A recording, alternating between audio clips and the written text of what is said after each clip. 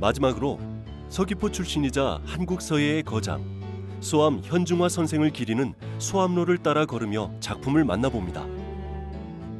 나지막한 담장에 해녀, 돌담, 서귀포 포구 등을 정감 있게 표현한 작품 번호 31 서귀포 이야기.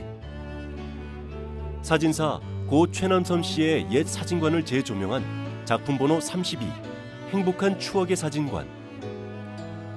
한글 자음 모음 형태를 이용한 벤치 작품과 좋은 문구들을 새겨 넣은 작품 번호 33 문자향 탐라까지 소암로 곳곳이 예술의 향기로 가득합니다. 이제 소암 기념관에서 소암 선생의 유품과 작품들, 기획전 등을 감상하고 나면 작가의 산책길의 여정은 끝이 납니다. 아름다운 자연과 어우러진 예술 작품들을 따라 걸었던 길의 끝에서 우리는 진정한 유토피아를 만났습니다.